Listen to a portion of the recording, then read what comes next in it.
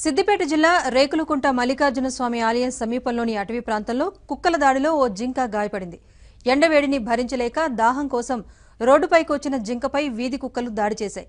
తీవ్రంగా గాయపడిన జింకను కొందరు రక్షించి అటవీ అధికారులకు సమాచారం ఇచ్చారు. అటవీ అధికారులు జింకకు చికిత్స చేయించారు.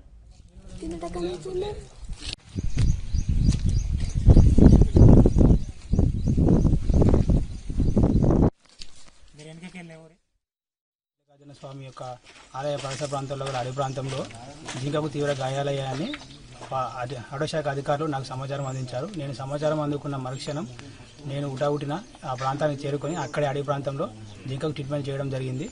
జింకకు కుక్కలు కరవడం వల్ల తీవ్ర గాయాలయ్యాయి. తీవ్ర గాయాలవ్వడం వల్ల ఒక కాలును ఆపరేషన్ చేయడం జరిగింది.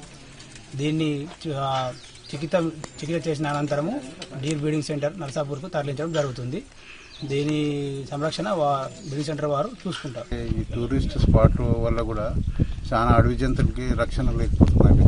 వా వాటి స్థానాల్లో మనం పోయి వాటి ఇళ్ళలో మనం ఉండుట్లా వాటికి రక్షణ కోల్పోయి ఇలా ఇన్సిడెంట్ జరుగుతుంది. చుట్టుపక్కల కుక్కలు పెరిగిపోయింది.